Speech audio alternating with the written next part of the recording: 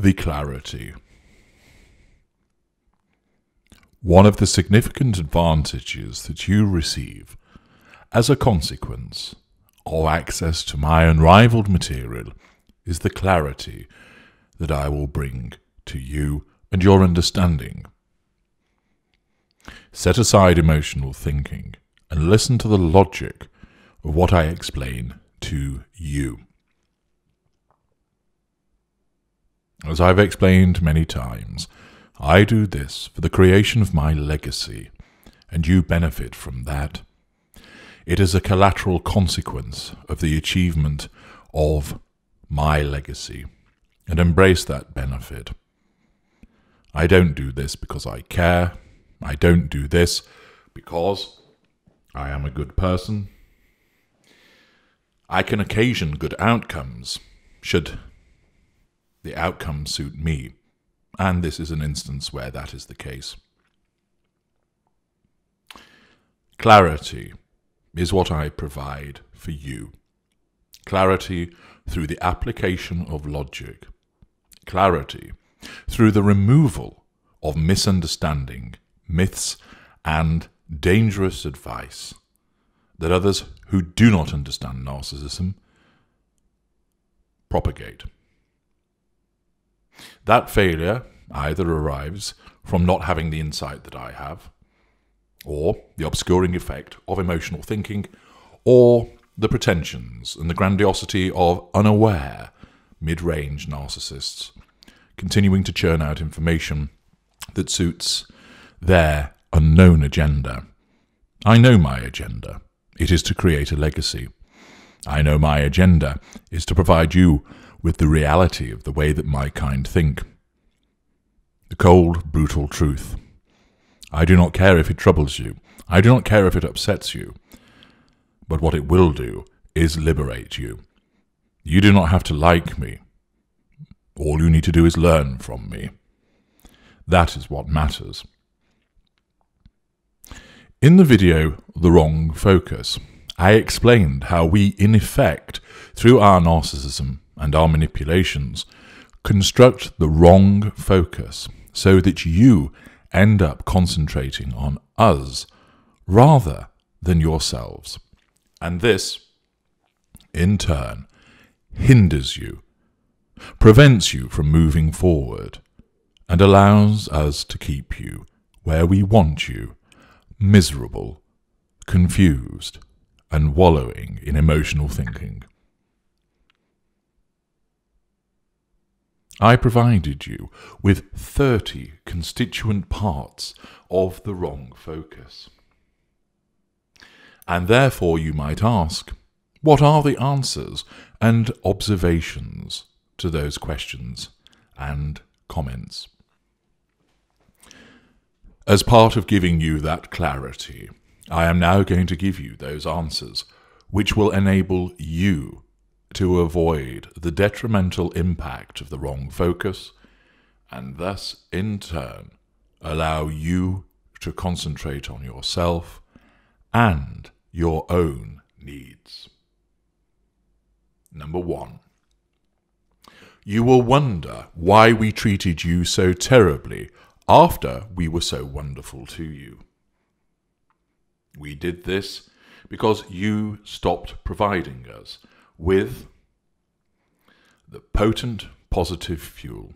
Either the potency became stale or you failed to provide it to us frequently enough and or in large enough amounts and therefore driven by our narcissism and the need to control you and to be properly fueled we switched to drawing negative fuel from you in order to maintain our existence number 2 you will want to know how we could have just left you after everything that you did for us.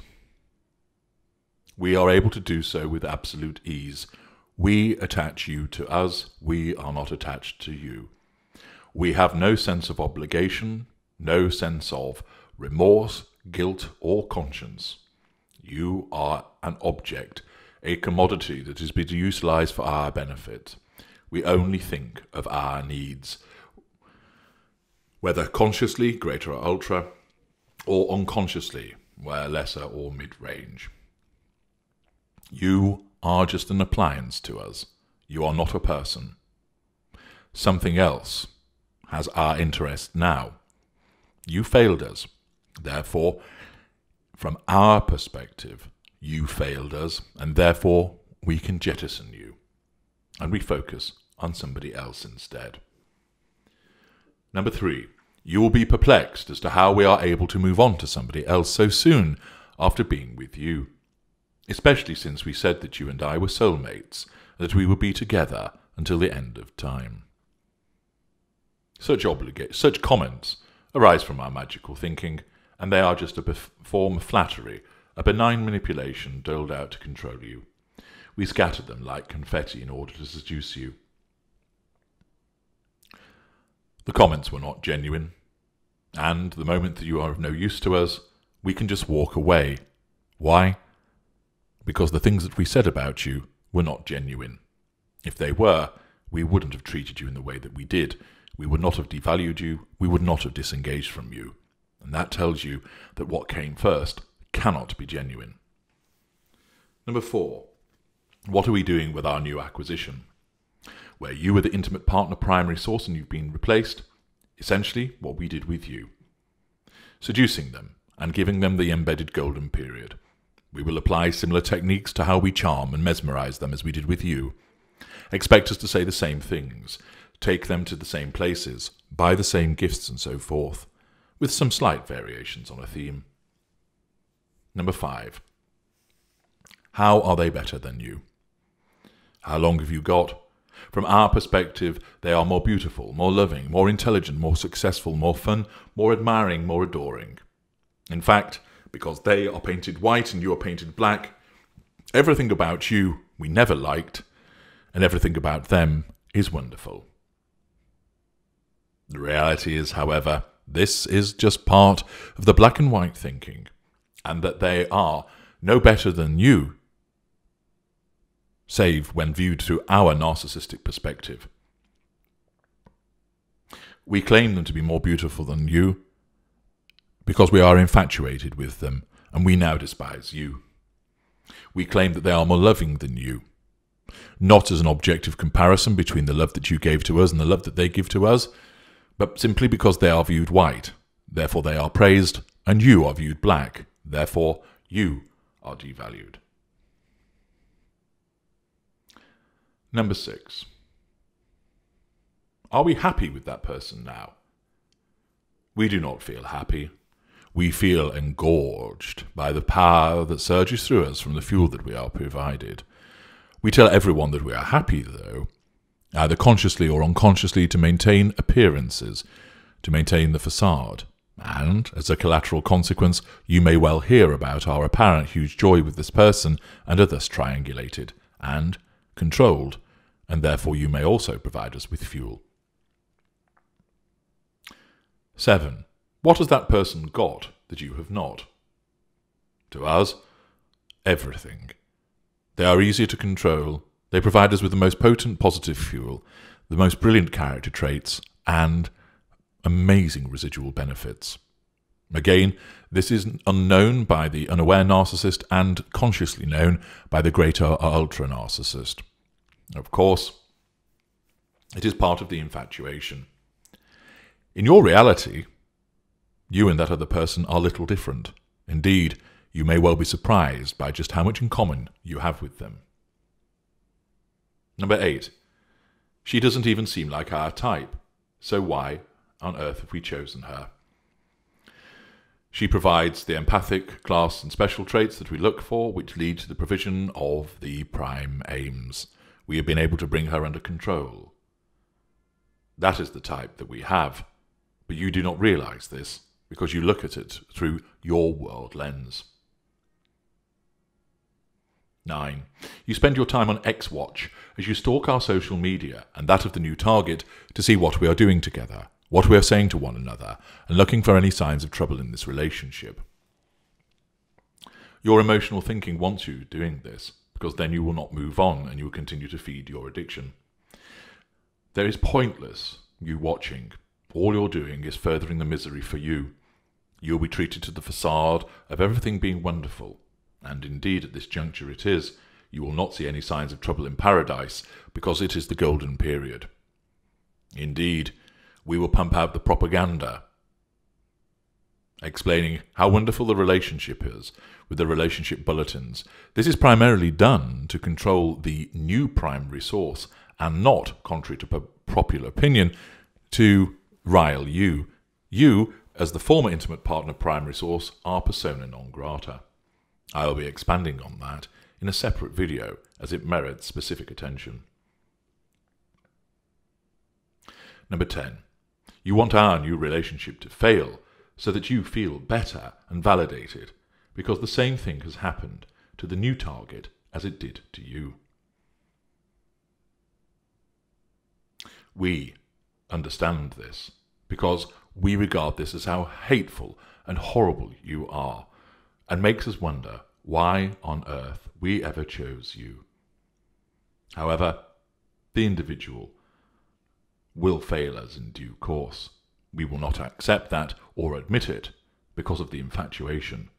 But the dynamic between narcissist and intimate partner primary source is one whereby the relationship will always fail in terms of entering devaluation. Number 11. You feel a need to prove that you are happy, even though you aren't, and that you need us to know that this is the case. You consider ways in which you can convey this message to us. This is you being misled by your emotional thinking, as it wants you to continue to interact with us, the narcissist, to feed your addiction. Do not bother with these steps. All you will do is kick the hornet's nest. We will be dismissive, either ignoring you, or you'll be treated to a malign hoover. You are better off not focusing on us at all. Number 12. You wonder what you could do to win us back. Do not bother. You will not succeed, and to do so would be contrary to your best interests. You will only provide us with fuel.